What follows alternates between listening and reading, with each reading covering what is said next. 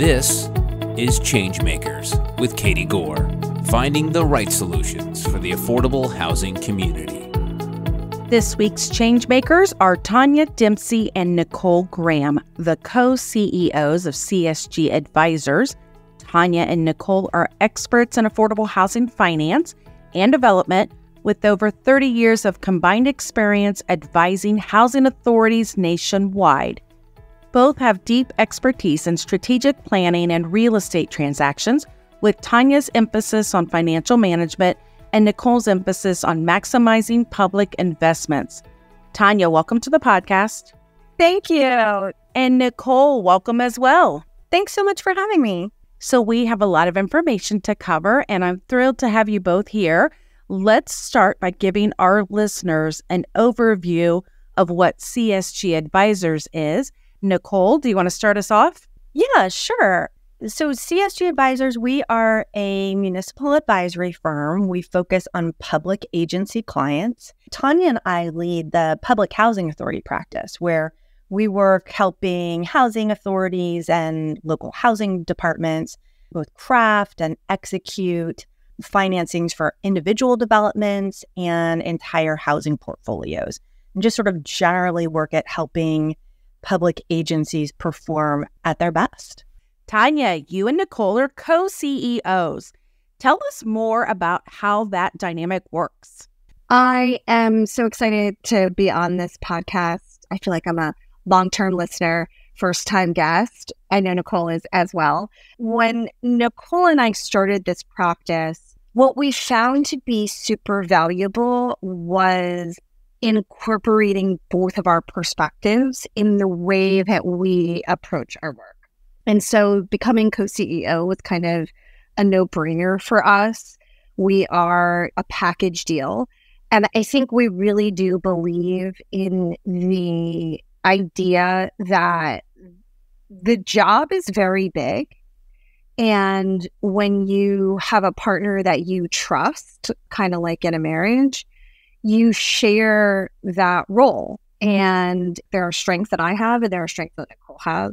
And I think that having a co CEO role, one is super, super unique, but it does, I think, play to both of our strengths and also allows us to be supportive in ways that you wouldn't necessarily be able to if you didn't have a co CEO role. This could be Nicole, maybe. Do you see, you mentioned earlier your experience in the single family bond practice. Do you see a lot of other women in that practice or in the affordable housing field that you're in right now? Thankfully we do. And and I'll be honest, like the one of the things that I've loved, I, I've been at CSG for for this is my 20th year. And one of the things that I've loved since I started was that in our practice, in that the housing authority practice in particular, right, there are a lot of women. It is more diverse. There are more people of color in leadership and as as staff people in the agencies that we work with. Th- that is less true, I would say, on like the you know in the housing finance agency world with single family and multifamily bonds, but it is you know there are certainly more women there than you might find say in the in the private sector but yeah i mean we're that's that's part of what we're trying to you know encourage and ultimately change is is having um, more women and more diversity um, across the industry. Earlier this year, you transitioned to this female lead milestone for your company. And tell us a little more about how that evolved. Exactly the way that Nicole kind of described it, right? We noticed that there were a lot of female leaders um, in the industry that are kind of executive directors, but you know, chairman of the boards are still men. And so I think we thought it was really important. We, you know, the public ha- housing practice leads a number of women as well on our, you know, for our practice. And I thought we thought it was really important for us to transition the firm into a WBE it was just something that's like we were both kind of super passionate about. CSG as a firm has started back in like 1978, its, its earliest iteration, and has always been heavily male led, like male founded, male led. Being a majority women owned firm now, right? Our, our recent, you know, shift and our recent uh, certification as a WBE, that's really the result of like five years of strategy discussions and negotiations with with the firm leadership to sort of take that lead. Um, and you know, it was there. There were a lot of there were a lot of ups and downs. Um, you know, because we we really needed to convince the leadership that um, that they they a that they should sell, that they b they should sell to us, and c that doing so would be in the long term interest of the firm. And th- that was true, even though we had you know we had tremendous performance to point to, um, outperforming like other areas of the firm and growth and leverage, like we still found ourselves needing to defend like a lot of what we did and what we wanted. And so that experience, I think, has really just sort of driven home, I would say, like, um, or maybe underscored like our commitment to to broadening the group you know not within our firm uh, right but just broadening the group industry wide so that we do have better, more diverse perspectives, like, uh, you know, weighing in on different things. You know, we have found in, you know, in our firm that that certainly is as we became more involved and then ultimately took over, right? Like the the policies that we adopted as a firm were different, very different from what they had had been previously and those are the types of things that we want to see more of honestly not just across the industry but just across, you know, across the U.S. Like everyone should should have an opportunity to have that. Yeah, I'll I'll jump in. One more thing is that like the other thing that we did was we spent a lot of time preparing. Obviously, there was a lot of uh, credentials, as Nicole said, but it was like we like read Traction. We read all the Brene Brown books. We did a Brene Brown training. We did Good to Great. Start with Why. Four Disciplines of Execution. Like we did a ton of you know kind of leadership training to to position ourselves in a way that allowed us to be CEOs but I think made a really stronger argument that we were the right fit. I want to get into the public housing repositioning and the RAD conversion work that you guys are doing, but we have the microphone right now. And I want to keep this topic for just a few minutes longer, okay? We've got some exciting updates that you guys are partaking at NAHRO with the Women's Empowerment Breakfast. Let's talk about that because there's implications for gender equality, empowerment, encouragement, all of the concepts. And you guys are really spearheading this. So let's get into that for a minute. Yeah, I don't, I mean, I feel like, I feel like, you know, we all sort of pitched it, but um, I, I mean, I will say first off, Katie, that like I love the company, right? So like being able to work with you and Tanya Beeler and the NAHRO team, I feel like has been a tremendous gift. I always look forward to our discussions and I feel so energized every single time leaving them. So that's like the very like super self-centered answer.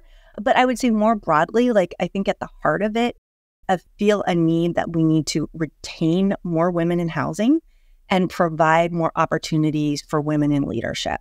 You know, I've seen this, you know, like we talked about a little bit, you know, at, at CSG, just differences that that that occur with with women le- leadership, um, things related to work life balance and equity and pay and benefits like parental leave and flexible work schedules. And I, I truly believe that these are things that should be extended across the board. You know, when I think about these breakfasts, like this is an opportunity, you know, in my mind for all of us to be thinking about our common shared interests, to have a really safe space to talk about those, what brings us all together, and really, you know, ideally creating opportunities and I don't know, maybe an infrastructure for us to kind of carve out those paths for other women and really making people feel welcome and that the, this is a long term career path with a tremendous amount of growth and personal trajectory. You both at CSG have done this a few times across the nation. What are you hearing are some of the challenges that women in the affordable housing sector are experiencing? Can you give us a glimpse of those? So, so we have done this a couple of times across the country. And there's a, a, a wide range of topics that come up. Um, the first and the one thing that like makes me feel so energized, I think that is the right word, Nicole, is the sisterhood, right? So so the sisterhood comes up as something that that folks across the country, women across the country strive for, and mentorship. So I think that is a common theme that women in particular want to talk about. We did this once for another organization where they actually talked about implicit bias. And a woman told us her story about how she kept being asked to plan these parties and was not promoted and eventually needed to change jobs in order to get ahead. And then she came back to run the agency, which was like such a amazing story, but really kind of spoke to implicit bias. Um, I also seeing kind of imposter syndrome is another really big theme that comes up at these conferences where people want to share how it made them feel, how different rooms made them feel. And, you know, some of the takeaways there are, you know, simply demonstrate kindness and be kind because it's unclear what kind of struggles folks have that are in the room. So those are, you know, off the top of my head. I could talk about this for forever, but those are those are the top 3 that I think come up for us when when we do this and and those stories are super powerful. So we're, you know, happy to be providing that forum and safe space for people to feel inspired and to feel connection. So identifying the list of items that aren't working or aren't working fairly and equitably, that may be a long list, but is there guidance we could provide for women who are listening, possibly who say, hey, I want to secure some leadership roles, even in the finance realm or the housing realm? How would you advise them or how would you provide some guidance for that? One of my big words uh, in this regard is, is is boundaries.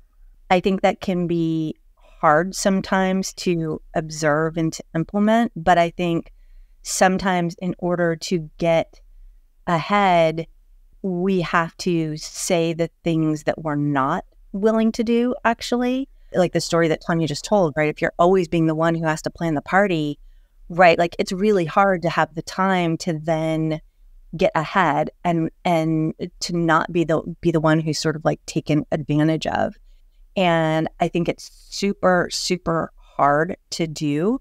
But I think that sometimes eh, just sort of asking questions about, you know, whether it's an assignment or, you know, asking the right questions that will potentially help one get ahead, right? So, you know, it's like, hey, can we do ring around the rosy here on these parties, right? Like, I'll do January and July, but can somebody else do the other months, right? Like, this should be a rotating thing one of my first uh, jobs was actually a policy advisor to a, a council member. And the council member was accustomed to his two women staffers bringing him soda during these council meetings. And when I told him I wouldn't do that, he got a little upset. But he also then, you know, relayed to his chief of staff that it was like, okay, well, I guess we won't have Nicole get the soda, so we'll have someone else do it even though it scared me, it wasn't, um, and I know that's a minute example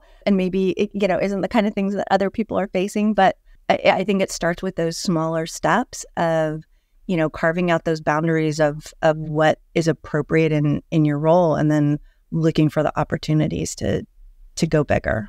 No, I think that's courageous as like your first job, right? So you're like right out of college or in college and to be able to kind of push back like that, I find that to be super courageous. Yeah, I'm thinking, Nicole, the soda is an analogy for yes. so many other things, though, right? yes, absolutely. I mean, we're talking like promotion, compensation, appropriate guidelines. I mean, like fill in the blank, right?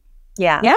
Yeah, and on that compensation, I mean, this is just this is just such a hard thing and and it's something that we all need to continue to work towards and frankly, like we all need to make sure that we are not perpetuating it.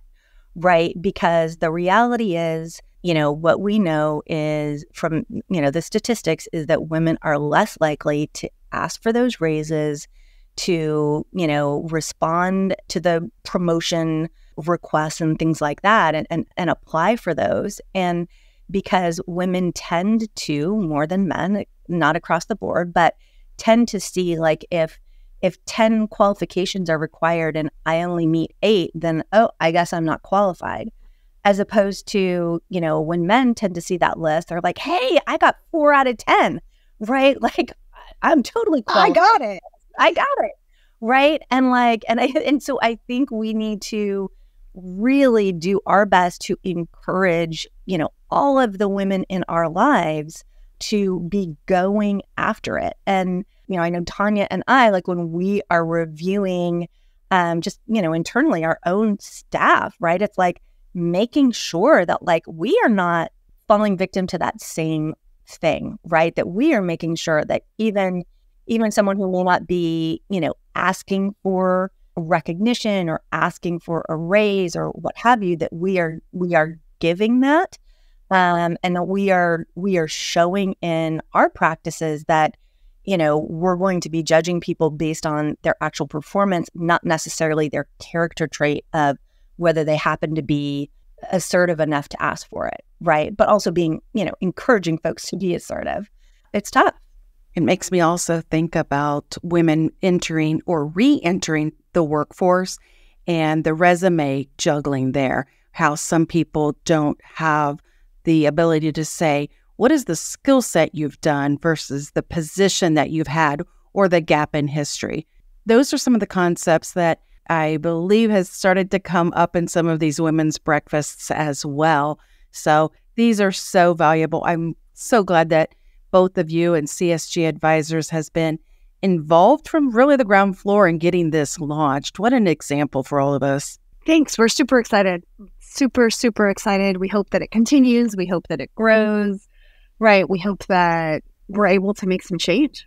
You two are definitely change makers, and I can't wait to get into your day to day work. But we have to stop here. So, coming up in the second part of my talk with co CEOs of CSG Advisors, Nicole Graham and Tanya Dempsey, Nicole talks about the mission of CSG. We want the agencies themselves to feel empowered and most importantly in that process, and this is where I get get all worked up, like, is to do it in a way that preserves that long-term affordability, leverages their money to the maximum extent possible, retains control, provides the the maximum like quality of living uh, housing for residents. That's the goal. Thanks for listening to Changemakers with Katie Gore. To find out more about Katie, go to quadel.com. That's Q U A D E L.com. This has been a production of Forbes Books Radio.